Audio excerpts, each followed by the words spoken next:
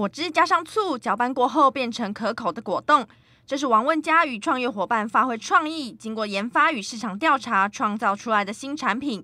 而正在努力卖冰的蔡宗轩，有帮家里做生意的经验，现在他把宜兰冰引进校园，成为第一名的人气商品。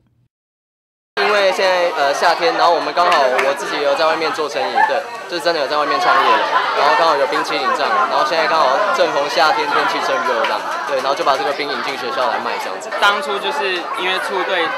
身体很好，然后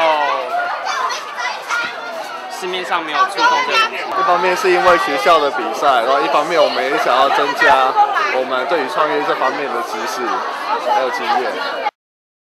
王文佳跟蔡宗轩的创业计划是南台科技大学结合校园创业培训课程，让学生在求学期间就开始创业，从成本规划、商品经营到行销策略一手包办，学到了难得的宝贵经验。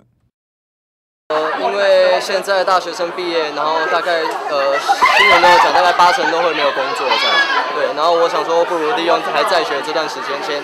给自己找一条路这样子。对，我觉得有冲劲是很好，对，但是你要去考虑说你这样东西有没有可行性，对，不要说一股脑这样下去冲，毕竟我们学生资金也没有那么多。